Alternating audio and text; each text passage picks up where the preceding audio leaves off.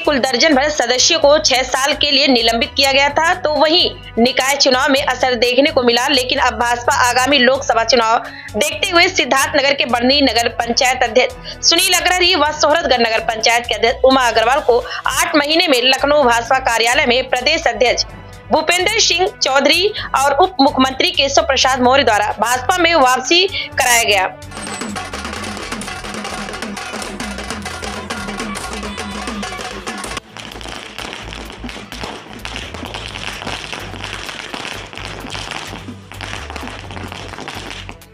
पंचायत अध्यक्ष सुनील अग्रहरी का कहना है कि किन्हीं कारण से हमें भाजपा से निलंबित किया गया था, लेकिन पार्टी ने भरोसा जताया है। तो अब लोकसभा चुनाव में बेहतर कार्य करना है और वहीं पार्टी को और मज़बूत बनाना है। तो वहीं भाजपा चुनाव में पिछड़े वर्ग को साधने के लिए एक ही विधानसभा के दोनों नगर पंचायत अध्यक्ष को सदस्यता दिलाकर पिछड़ी जाति की राजनीति का मोहर लगा दी है। पहले तो मैं आपको बता दूँ कि आठ महीने में ही मेरी वापसी हो गई है। अभी एक साल नहीं पूरा हुआ। दूसरी बात भारतीय जनता पार्टी से मैं दूर नहीं था।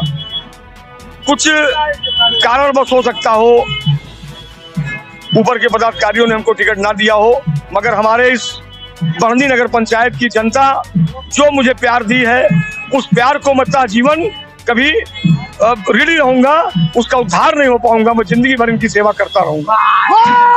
मैं अपने शीर्ष नेतृत्व से ये वादा करता हूँ, जिस विश्वास के साथ मुझे पार्टी में सम्मिलित किया है, अपने परिवार में सम्मिलित किया है।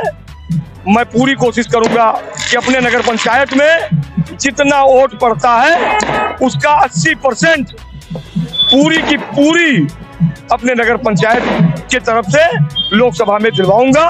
और ये विश्वास दिलाता हूँ अपने शीर्ष नेतृत्व को, जो भी कार्य मुझे सौंपेंगे, वह मैं पूरे निष्ठा के साथ उसको करूँगा।